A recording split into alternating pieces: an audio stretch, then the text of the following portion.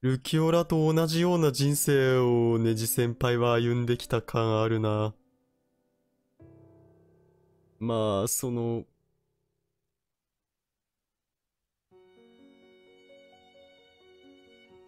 そうか。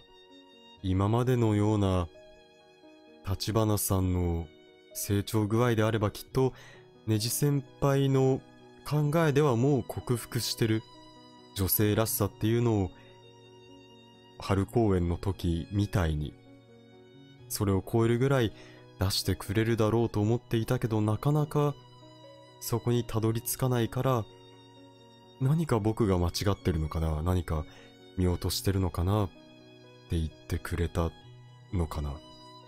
本当は女性であるっていうことが一番の壁であるけどネジ先輩にとっては一つの演技としてそれができるかどうかっていうところしかもちろんなんていうか課題としては与えていないだろうからだからそこで歯車がなんかおかしくなってあれってなっちゃったんだろうね。うーんあと9日か。来週の土日かだから。うーんいやでもここで悩んでてもしょうがないか。立花さんはどうするのか？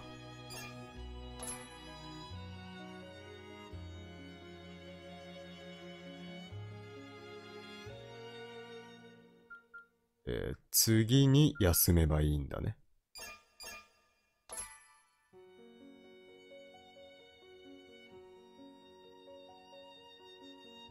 はいここでチッチとルキオラ歌唱白雪の隙間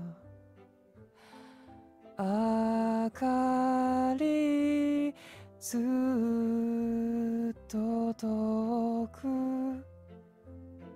これあれか練習の時にやったなんか綺麗で切ないけど力強さもあるやつか。本番これ楽しみだな。この先の展開次第では私やってる最中に泣くかもしれんけど。ミツ歌い方変えてきてるな。ルキオラらしい音を探してる。おおそうか。いやでもそうか。歌だって演技できるもんね。ルキオラとしての歌い方を模索してるんだこのままいけばトレゾールとして一つ上の段階に進むかもしれない。完全に打足だけどこのお二人が基本常に一緒にいてこう会話で誰かについて言ってる当たり前のようにペアとしてお互いの言葉が混じってるの最高。白田先輩はどんどん先に進んでいる。チッチを女を演じることに迷いがある私じゃ。ついていけない。うん。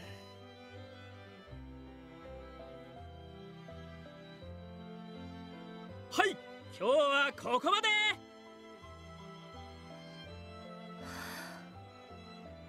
立花君はい。はい。悪いけど資料を運ぶの手伝ってもらっていい？これは少し話をしようだね。わかりました。寒い寒い。ぼちぼち雪が降ってきそうだね。そうか冬だもんね。皆さん薄着だな。ユニベールの制服であったかいそうな冬服はないんだねきっと。まあ多分インナーっていうかみんな着てるんじゃないかなって思うけど。なあ荷物はそこに置いてどれ？温かいお茶でも入れようネジ先輩のこの高層部屋の中にあったかいお茶を入れるポットとか茶葉とかあるんだ。完全にここで暮らしてるね。多分なんか本当に簡易的にだったらここで暮らせるぐらいのものは揃ってるんじゃないかな。寝袋とかカップラーメンとかはあるんじゃないかな。はいお待たせ。それにしてもミッキーの伸びの凄さよ。白田先輩の歌ルキオラの気持ちがしっかり伝わってきます。彼稽古中に歌詞を確認しながら繰り返し歌っていたよ。本当にこうただの歌であれば全然すごいものを歌えるんだろうけれども必死に寄り添うようにどれが正しいのかを考えてたんだ。地道だけどすごい大変なことだよねこれ。どうすればルキオラの思いを伝えることができるか考え続けているんだ。稽古中も僕の知らないルキオラを見せてくれる。ルキオラはもう白田くんのものだね。これも嬉しいね。なんか役ってもちろんなんか物体的なものではないけど概念的なものではあるけどもうあのキャラは君のものだねみたいな風に言ってもらえるのってすごい嬉しい。最高の褒め言葉だと思う。君の影響だろうな。私ですか？白田くんは君にとっていい先輩でありたいんだよ。フミやカイが彼にとってそうだったようにね。なるほど。ああここまで言った話では今なかったかもしれないけど先頭に立つやがて卒業していくふみさんやかいさんの後にみんなを引っ張る存在の3年生になるっていうところに今白田先輩はまさに向かってるんだ。そのことで悩んでるような描写があったけれどもそこに対して成長していってるんだね。間違いなく。みんな成長したな。あほら世永くんもすごいでしょ？最近。うまくいかずにずっと苦しんでいたけど今は光を浴びた若葉のように成長している。そうだね。秋公演の後は本当にまあ相応の迷いとか悩みはあるだろうけどでも全然道にぶつかったりとかじゃなくてひたすらまっすぐにどんどん右肩あたり右肩上がりで成長してるようなように私は見える。その成長があまりにも早くて当の本人に自覚がないようだったけど。ある種のこれは天才的なものの片鱗かもしれないねこのまま伸びていけばどんなものだって掴むことができると知ってほしい。感受性豊かな彼はどんなものも表現できるようになる。化けるよ彼は。これそうくんに聞かせて。そうくんにこれ聞かせて。ネジ先輩に。化けるよ彼はなんで化けるってめっちゃ嬉しい言葉なんだよな。演劇界隈で。いや君化けるよ絶対とか言われるなんて。幸せの最高点だよね。うわーこれそうくんいやなんかこう言ってたよなんていうの無粋だろうけど。うんいつか聞かせたいな。折巻くんはねスターなんだ。持っているものが違う。それにああ見えて本当は器用で賢い。自分の夢を叶えるために何が必要かわかるし結果も出せる。そうだね。なんか純粋素直というところにくっついてなんていうかごめん他に言葉が思いつかないけど単純なんじゃないかみたいなイメージもあるけど全然そんなことはなくてたくさん考える子だしそれに対してじゃあどういう道を行けば結果を出せるかなって考えて実行できる子だから本当に賢いと思う鈴くんは。そのせいで弱者になれないんだよ。悪い意味でね。それが彼の人としての幅を狭めている。おー。あー。あえっとなんというかできすぎちゃう方面が一個尖ってるとこがあるから苦手なん？いやごめん。私これちゃんと理解できてないかも。言わんとしてることがわかるようなだけど。彼には負けることができる相手が必要なんだ。努力しても叶わない相手。ああ、なるほど。ある意味、ふみさんのように生まれつきのオーラのような、才能のようなものがあるからこそ、そういう経験も必要ってことかな。多分その、すーくんが得意分野だけで言ったら本当に頂点で居続けちゃうから、そうじゃないところも、今のうちに覚えておくべきっていう感じで合ってるかな。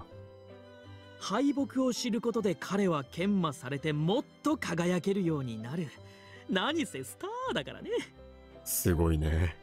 ネジ先輩にスタートまで言わせるか。すごいなまあでも伊達に新人公演の時に、あのー、ジャックエースに選ばれてないもんね。すごいよね。選ばれてないもんねって言い方合ってる。選ばれただけはあるよね。その時から何か感じていたんだろうな。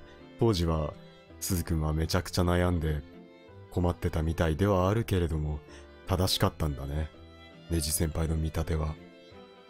フミは才能あふれる人間だそのせいで自分以外の誰かを背負わざるを得ない人生を送ってきた。選ばれる人間の宿命だよ。だからこそ自分を預けられる人が必要だったんだ。彼の重荷を一緒に背負ってあげることができる人。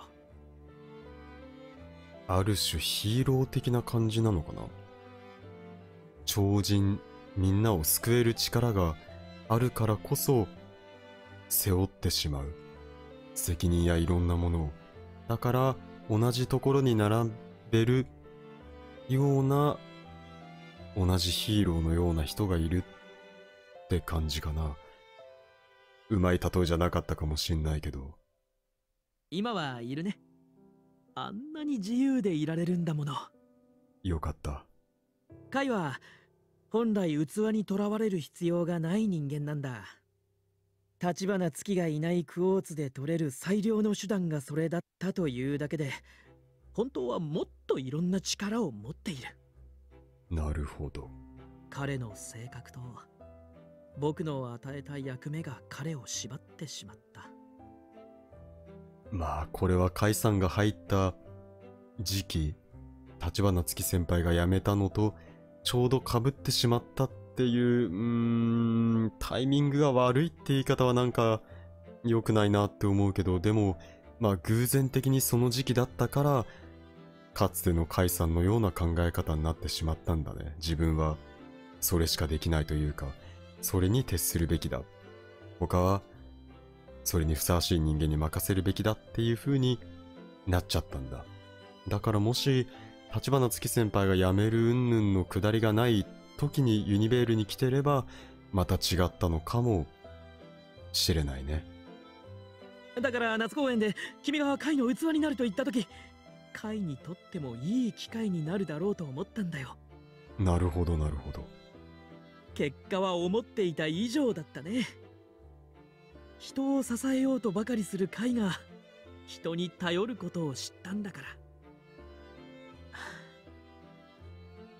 ネジ先輩はこんな、こんなに細かくみんなのことを考えてたんだ。どういう人で、こういういいとこがあり、こういう弱点もあり、じゃあだからどうすればいいのかって、いやこんな簡単に出ないよ、人に対して。ネジ先輩が言ってたけど、人間なんて複雑回帰なんだから、簡単に一本の道で正解までの、解決までの道なんて作れないよ。本当に、本当にすごい一晩どころじゃないぐらい考えて、このオーラバーハベンナを作ったんだろうな。だからこそ今の私に、より強い不安や心配をきっと感じてるんじゃないかな。舞台は巨大な装置ジャックとジャンヌはその歯車。僕はそれを組み立てる職人。君は全てに絡み合う。一番大事な歯車なのかもしれない。さてと。長話が過ぎたね。君も自分の稽古があるだろう。あれ、てっきり最後に私の話されるかなって思ったけど、みんなのことを話しただけか。ってことはそれに何か意味があるんだな。ネジ先輩にとって。僕もやっとかないとな元主役を怒らせちゃうよ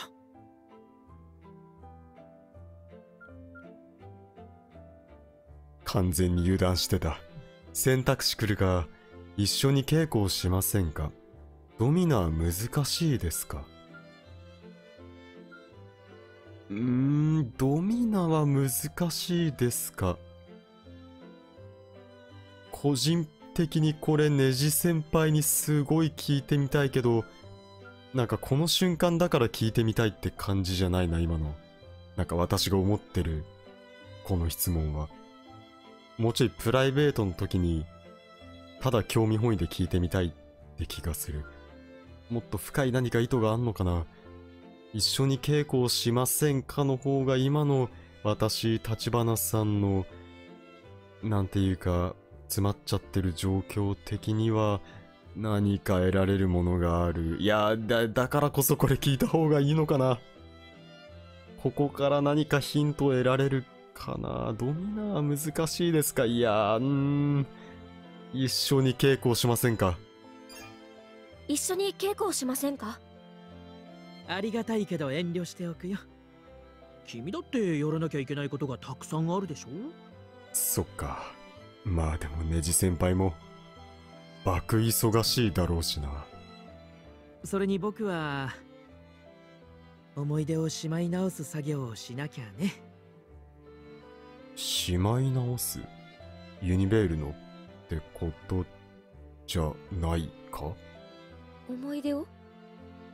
ドミナをやるには邪魔なものが多すぎるルキオラに情が移りそうになるんだよいや、やっぱなんかそういう感じっぽいな。ルキオラと同じような人生をネジ先輩は歩んできた感あるな。まあ、その、母親を奪われた云々のくだりがどこまでその通りかはわかんないけど、少なくとも、どちらかの親もしくはどっちもの親が、なんていうか、何か不幸に見舞われてるような状況であるんじゃないかな。ああ、いや、だとしたらネジ先輩が自分の役をドミナに置いたのもなんか自分への試練な、なんかあるよな。だってルキオラともし同じ境遇を歩んで同情しちゃいそうなら、ドミナのような役なんて一番憎ましいはずなのに、そこに自分を置いたのはあえてだよな。雑念を消すため自分にとって何か煩わしい何かを決して集中するためなのか。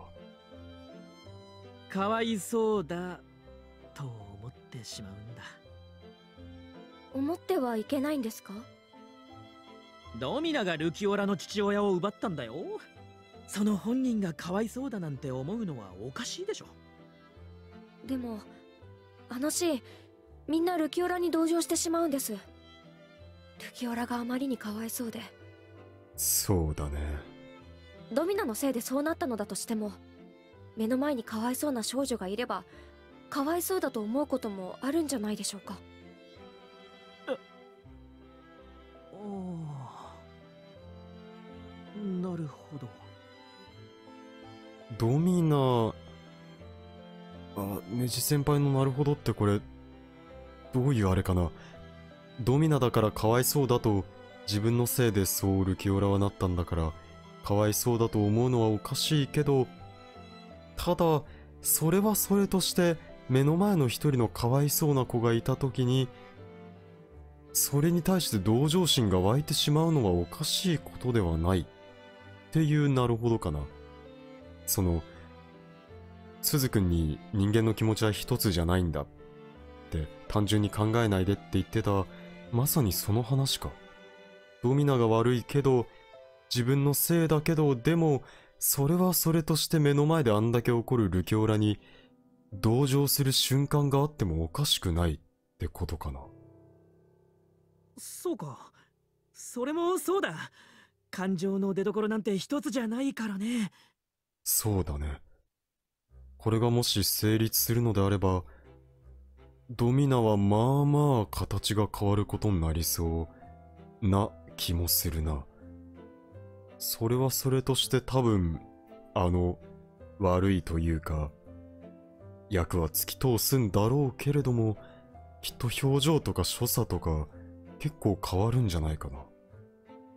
可愛いものを直感で可愛いという女子のごとくかわいそうな子をかわいそうだと思ってもおかしくない自分が奪ったくせにかわいそうかひどい話ではあるけどね。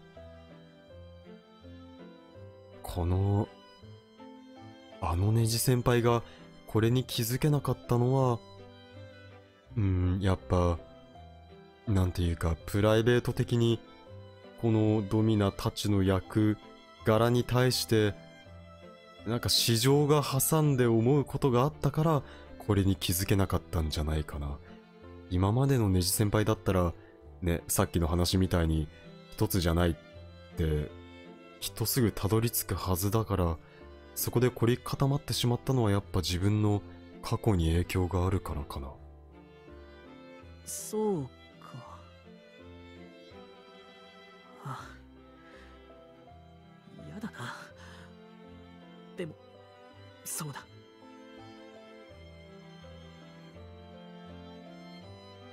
君に演出してもらっちゃったな。好き勝手言ってすみません。いや参考になったよ。ありがとう。かつてないほどの動揺だったね。ネジ先輩の中では。もっと時間があればよかったな。そうすれば僕がどういう人間なのか君に教えてもらえただろうに。さてと僕もやりますか。やるっきゃないもんね。ネジ先輩の過去とかってやっぱネジ先輩のルートやんないとわかんないのかな。ふみさんとかね、ある程度、いやでもあれも個別ルートだったよな、思えば。一番最初だろうけど。そうか。俺きっとわかんないまま私、ユニベールの1年間を終えることになるんだよな。いや、もちろんその代わりに白田先輩との1年間を選んだわけだから、全くもって悔いや後悔はないけれども、気になる。みんなに地ヘドを吐かせるような真似をしてるんだから僕も視力を尽くさないと君との会話は良いきっかけになりそうだよありがとういえいえ、今のありがとうはなんかすごい心がこもっていたな。素のネジ先輩の言葉を聞いた気がする。「